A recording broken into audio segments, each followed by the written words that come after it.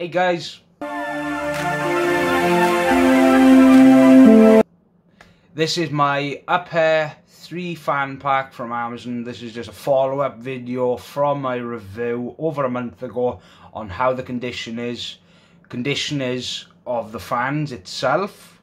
So if you want to see that video, click up on the left hand side, my left, your left, no sorry, my left, your right.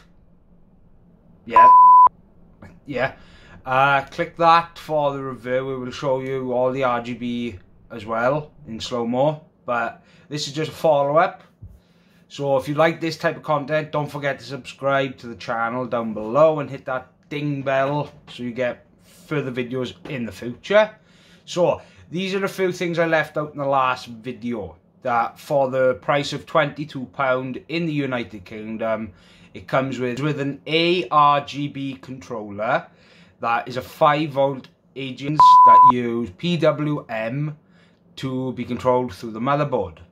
You can also wire up as well with software as well, which uh, the fan controller itself can hold up to 7 ARGB fans with the 3 pin 5 volt connector the fans are PD, uh, PWM as, as you can control the fan speed, as I just said, in your motherboard BIOS. The colours are really nice, and when you put them at full speed, there is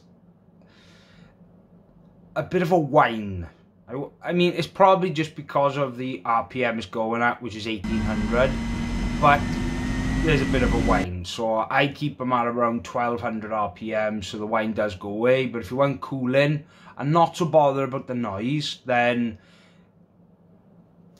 that's up to you. But, you know, I'm not worried about, obviously that is up to you. If you're not worried about the noise, then just crank them up. And they do push air very, very good.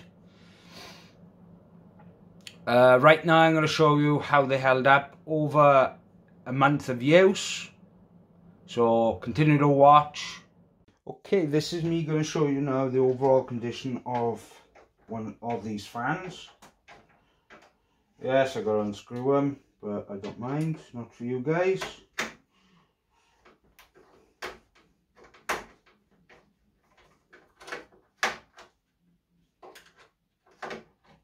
Sorry, I will fast forward this. This is the tedious part of taking things out.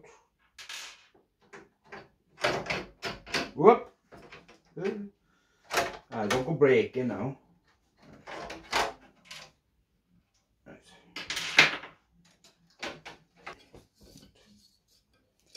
So overall, as you can see, the condition is not bad. Uh, I don't even think, oh, there's a little bit of dust, a little tiny bit. Uh, but as you can see, over a month's use, uh, they're still in practically brand new condition. These are the cables you get connectors. See the 3 pin 5 volt one, and then you do get a 4 pin uh, PWM fan header, which do connect straight into the actual um, the hub itself, which as you can see is but there and it's got room up for seven fans. I know my cable management is horrible, but oh well. So, as you can see, they held up pretty well. Uh, if you want to buy a pack, there is going to be a link down below in the description. So, continue to watch. Thank you. Oh, it's very dusty. Thank you. Goodbye.